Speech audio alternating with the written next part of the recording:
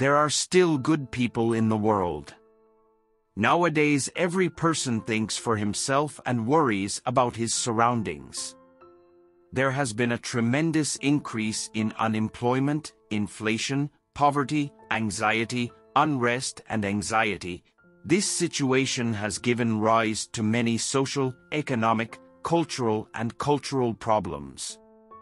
Most of them are living below the poverty line.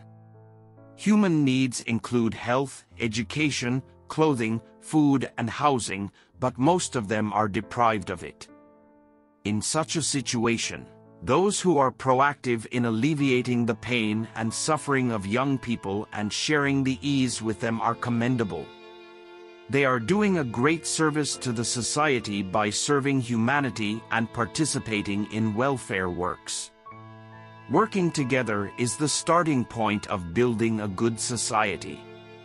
Societies in which compassion, service and human welfare prevail intellectually and practically at the individual, collective, state and national levels, that society as a whole easily climbs the ladder of progress and prosperity. In today's fascinating era, some youths are second to none in welfare work.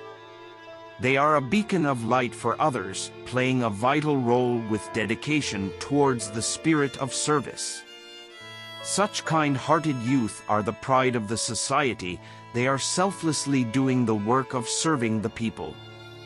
The story of such a young man is presented before the reader, seeing which many hopes have arisen in our youth that our youth have a sense of humanity and service.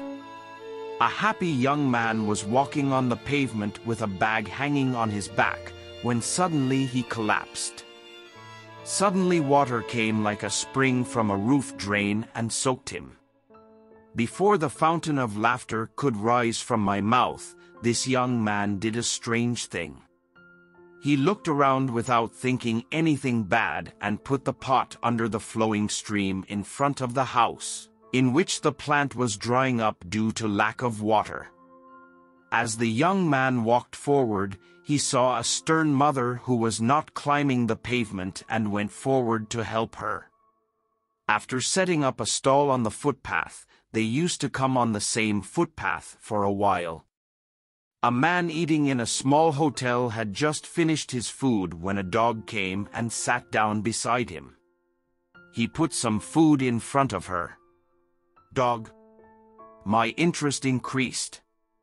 After eating he got up and I followed him. At one place a beggar was begging with his daughter, she stopped there, so I also stopped near a glasses shop. He opened his wallet and gave some money to the beggar's daughter. The young man went a little further and bought bananas and left then turned into a building and hung onto the door handle and quickly slammed the door and ran away. I kept quiet to see what happens.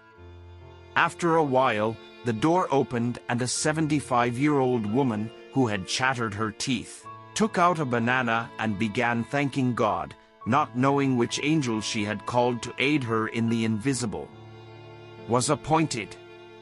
For several days the routine between me and the young man was that he would go back and forth with his routine and I would secretly follow him. And then one day a change came. The water was falling from the ceiling and in the same way into the pot, but it was full of dry powder and he was as happy as small children seeing the butterfly sitting on it. Proceeding as usual, I found the old woman in the stall waiting for the young man, and as soon as he appeared, she began to pray.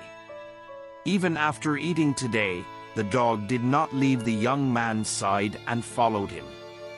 When we approached the beggar blindfolded, I became worried along with the young man because the little girl was nowhere to be seen. The young man was watching that a lovely girl wearing school uniform came near the young man's feet and started crying hugging him and thanking him. My eyes became moist with this sight when I saw that someone pressed my hand hard. The glasses seller Baba was also standing with tears in his eyes and was pressing my hand. And what can be said about the happiness of this young man? At last the young man went ahead, reached the old woman's door with a banana. He was about to hang the banana and knock on the door when with a flash the door opened and there stood that old Mother Popal, with a deep look of joy in her sad eyes, then she hugged the young man and I had tears in my eyes. I kept thinking that there is only a gap between worry and real happiness.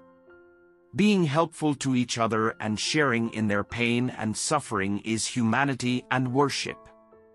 The person who makes things easy for others, Allah makes things easy for him. What do you think you can do to improve people's lives? What are the activities by which you can contribute a little, if not a lot, for their betterment and for the betterment of the society? How come you feel by giving free dog to poor needy kids, giving medicine to sick person, donating blood and giving ration? You will realize all these changes can happen when you do this.